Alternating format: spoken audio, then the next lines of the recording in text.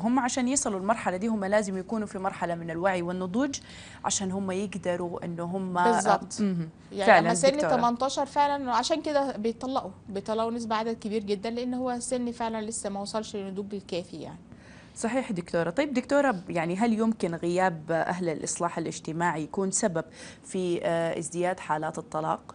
طبعا ما إحنا بنقول أهوت ال- الإصلاح الاجتماعي بقى سواء كان اللي هم المصلحين الاجتماعيين دول لهم دور مهم جدا آه، الاستشاريين لهم دور مهم جدا آه، زي ما أقول لك المفروض ياخدوا دورات إن شاء الله دورات مجانية. أنت واخدة بالك؟ المفروض تكون ليهم دورات مجانية من الدولة هي اللي تعملها لهم مثلا.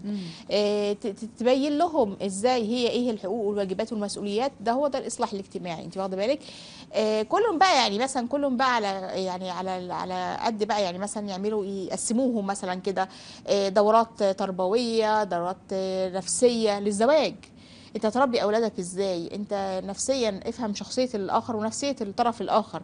إزاي؟ انت لو واجهتك مشاكل ت- توجهها إزاي؟ ده تمهيد آه، لمرحلة الزواج دي دكتورة. مرح... تمهيد لمرحلة الزواج. ولو لسه تزوجوا يبقى في حاجة اسمها آه، مثلا آه، مش... لو في مشاكل ممكن ياخدوا دورات أصلا السعاده الزوجيه